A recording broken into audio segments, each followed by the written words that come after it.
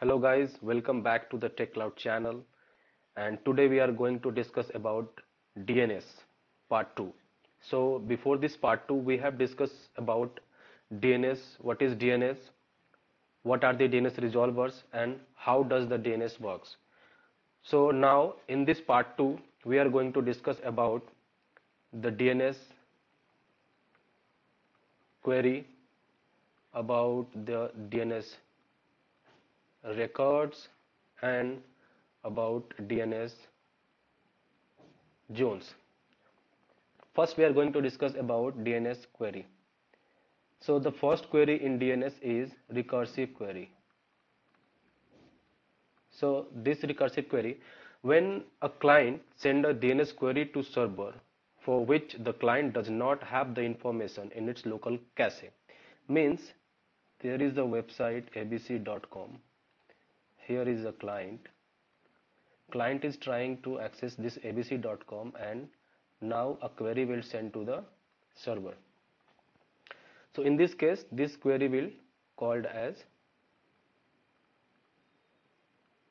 recursive query. The next one is non-recursive query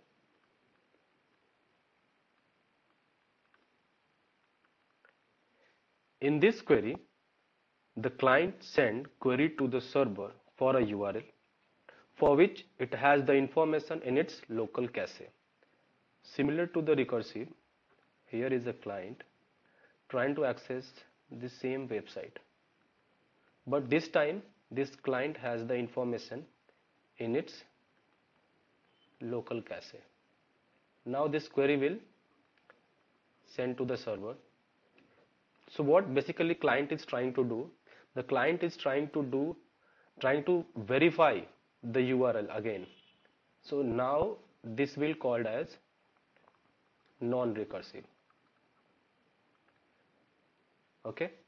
The third one and the last one is iterative query. Iterative query. So this query when recursive DNS server does not have matching information about the DNS query so it will refer to the other DNS server for the query. And now this query is called as iterative query. See let's suppose here is a client trying to access the same website abc.com this request goes to a server let's call it a DNS1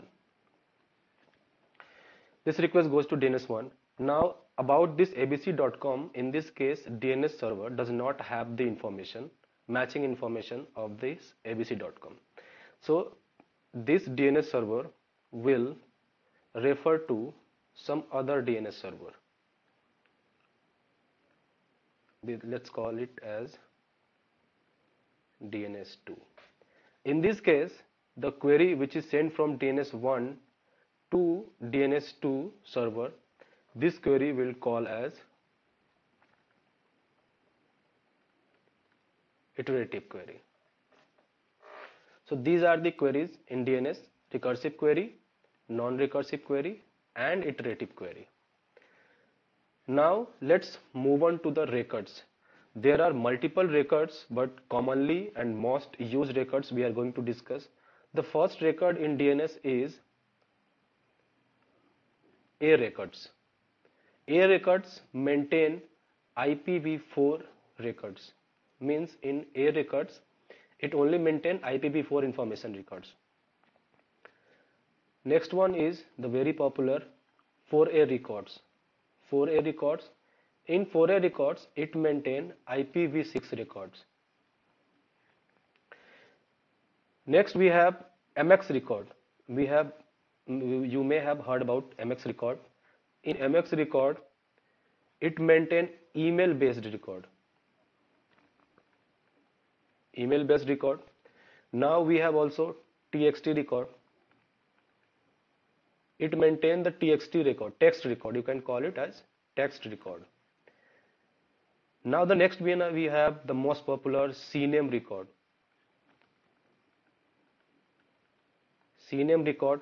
These CNAME records maintain the subdomain forwarding records. This is maintain the subdomain forwarding records. Next one we have NS record. NS record maintains DNS entry. These are very popular records. Now the last one we in this video is cert record. Cert record is basically a certificate record. So it is stored, it keep the records of certificate. This is certificate record. There are many more. Now let's move and discuss about the zones.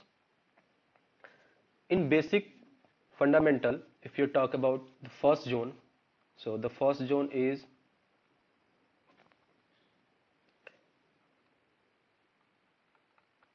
primary zone. You can call a primary zone a main zone main zone and this zone has read and write privilege so you can call it as it is a main zone and it has the read write copy of the zone data all changes are made in primary zone and are replicated to secondary zone whatever the changes is being made in the primary zone will be replicated to a zone that will be called as secondary zone. So the next zone we have is secondary zone. You can say also say this is a backup zone. Backup zone, but in secondary zone it has only read only data. It has less permission than primary zone it has only read only data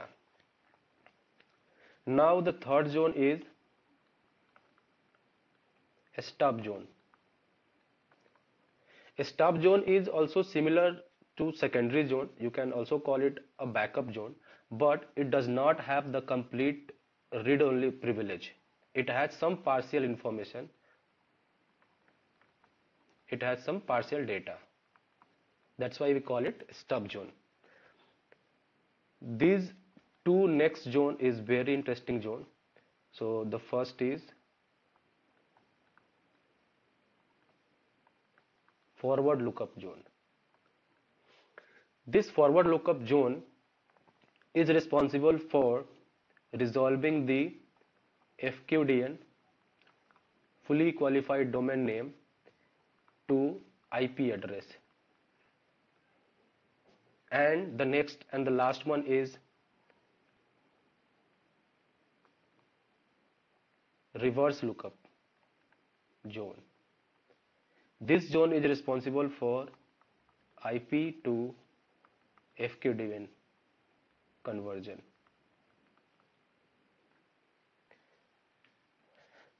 that's it for the DNS part 2 so in this part 2 we discuss about the DNS query what are the queries? There are three kinds of query, recursive query, non-recursive query, iterative query. In records, we discuss about A record that maintain IPv4 records, 4A records that maintain IPv6 record, MX record that maintain email records, TXT record that maintain text record, CNAME records that maintain subdomain forwarding records, NS records that maintain DNS entry records, and cert record that maintain stored certificate restore. Next we discuss about zones. So we discuss about primary zone. You can call it main zone. We discuss about secondary zone you can call it backup zone. Stub zone has the partial data forward lookup zone that primarily convert or resolve fully qualified domain name to IP and reverse zone that convert IP to fully qualified domain name. That is it for DNS part 2 I hope you are able to understand this. And if you understand this please like comment and subscribe and share this channel to the everyone. Thank you